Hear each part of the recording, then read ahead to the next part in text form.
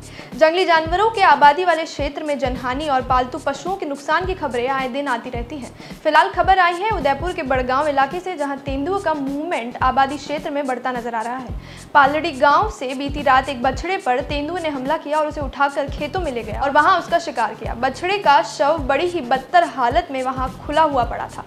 सुबह खेत में मरे हुए बछड़े को देखकर ग्रामीणों को इस बात की खबर मिली। गाँव वासियों ने तुरंत ही वन विभाग के लोगों को सूचना दी। फिर भी घंटों तक विभाग से कोई भी कर्मचारी मौके पर नहीं पहुँचा। गाँव वालों से प्राप्त जानकारी के अनुसार देर रात तेंदुआ बस्ती के बीच से होकर खेत के पास पहुँचा।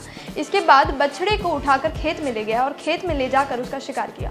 ग्रामीणों ने बताया कि इससे पहले भी इस तरह के हादसे अंजाम ले चुके हैं और तेंदुए का मूवमेंट होता रहा है।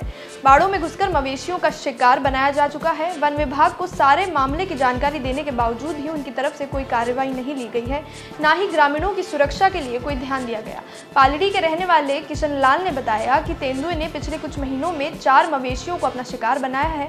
वन विभाग को पिंजरा लगाकर उसे पकड़ना चाहिए। घरों के आसपास बने बाड़ों में तेंदुए के आने से लोगों में भी दहशत रहती है। लोग सुबह शाम या खासकर रात के अंधेरे के वक्त अपने घरों से निकलने से बच रहे हैं। दोस्तों सीबीसी न्यूज़ आपके सहयोग से लगातार बढ़ता जा रहा है। स्वतंत्र पत्रकारिता का सहयोग करने के लिए आपका धन्यवाद। सबसे पहले तो जिन लोगों ने हमारे चैनल को सब्सक्राइब नहीं किया है तो पहले सब्सक्राइब करें, जिसका कोई शुल्क नहीं लगता और बड़ा आसान है। बस नीचे दिख रहे लाल सब्सक्राइब के बटन को दबाना है और पास में दिख रहे बेल आइकन को भी दबाना है, ताकि आपको अपने सीबीसी न्यूज़ के हर अपडेट्स मिल सके।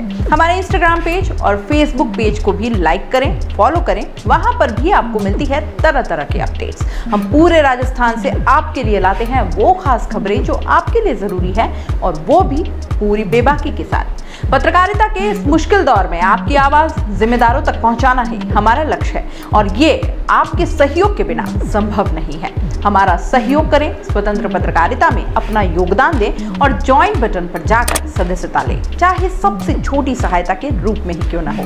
जनता की बेबाक आवाज़ बने रहें, उसके लिए सहयोग आपको ही करना है। सब्सक्राइब करिए और ज्वाइन बटन पर क्लिक कर सदस्यता ग्रहण कीजिए।